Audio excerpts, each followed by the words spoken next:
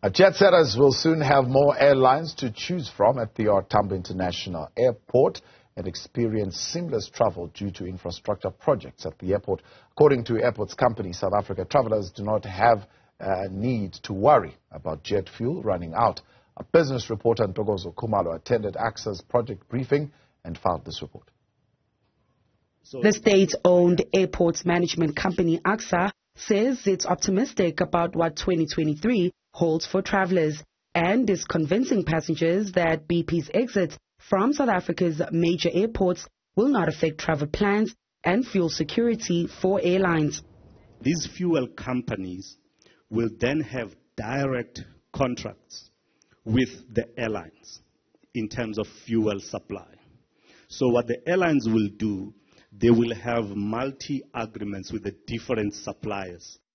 Kambule says ACSA is also prepared for the Easter holiday travel. Just like in December, um, what happens is that, yes, we are expecting a lot um, of passengers coming through.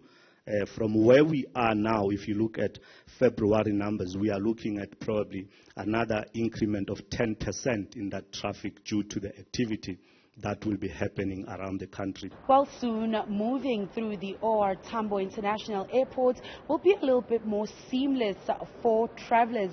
The airport company South Africa is working on several projects to improve infrastructure at the airport, including an improved parking area as well as easier check-in.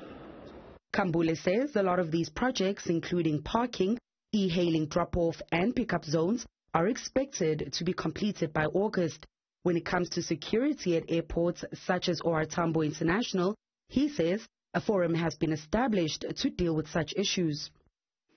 Now, this integrated security technical committee includes ACSA, it includes customs, it includes immigration, it includes SAPS, it includes state uh, security. All law enforcement agencies get together. We meet on Tuesdays to discuss all our plans on how we're going to curb crime.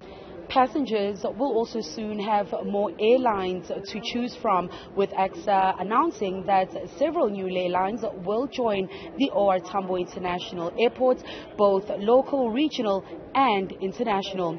For Newzroom Afrika on Channel 405, I'm Ntokozo Khumalo at the OR Tambo International Airport.